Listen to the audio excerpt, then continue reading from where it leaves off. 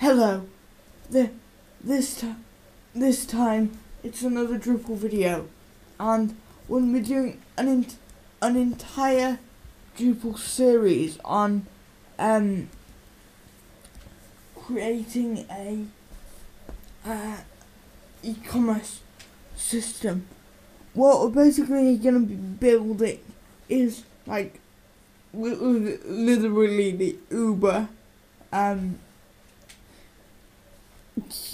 cart system on top of the awesome Drupal framework.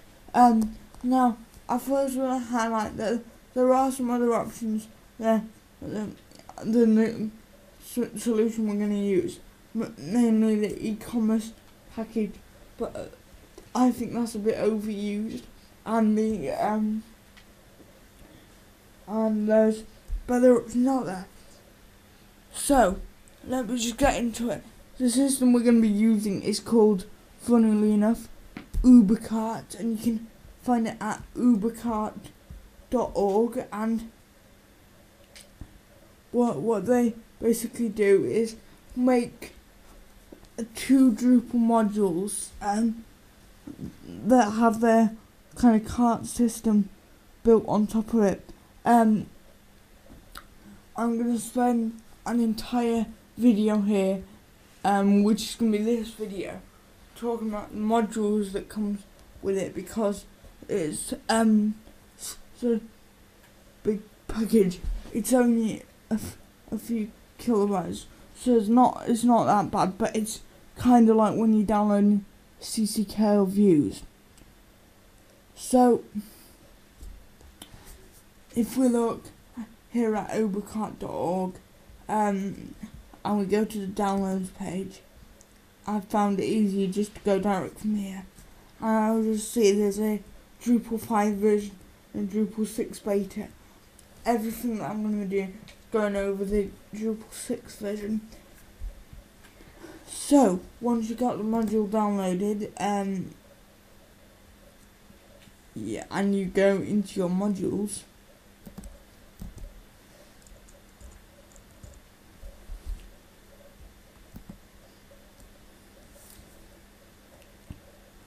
I I forgot to mention you'll also need token module which can be found at drupal.org slash project slash token. We used it in our Pathauto video.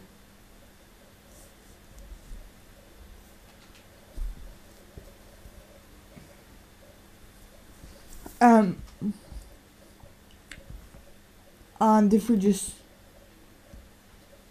take away all all the core modules. Um, there's five sections dedicated to UberCart, and there's all those modules there. Um, all those modules belo- belong to UberCart. So let's go through them.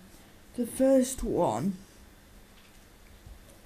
the ones that you're going to be needing most, are the store, the product, and the order module those are the core ones that you want to enable. On top of that, you have cart, and that's how you can create a basic um or uh, shopping facility. But there's way more than that. You can have cart links.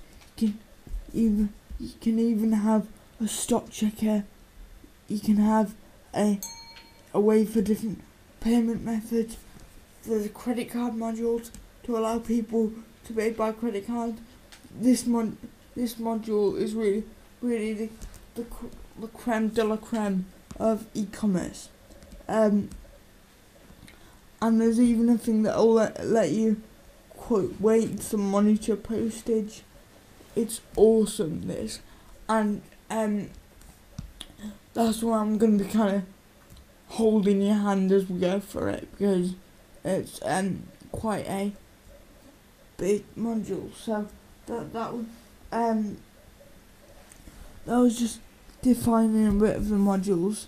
Um, what we're gonna else we're gonna do is is just simply um enable the core modules.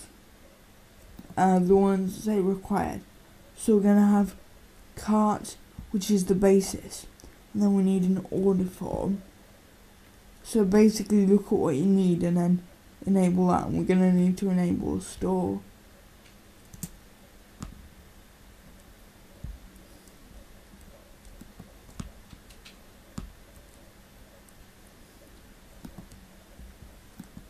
on the product. That's the core of what we need to enable.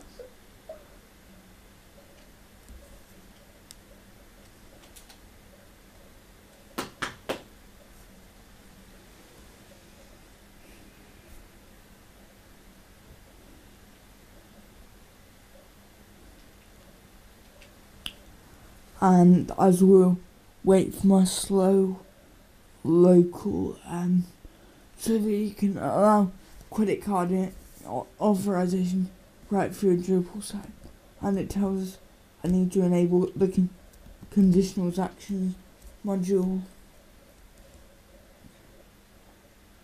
Okay so if we we now have an entire new section of our admin panel.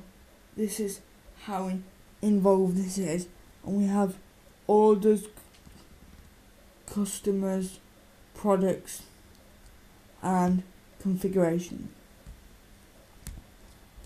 Uh, so that's basically the core of UberCart. And then in the next time we're gonna um, be looking at um, we shall be looking at how to create our first product. So wait for the next video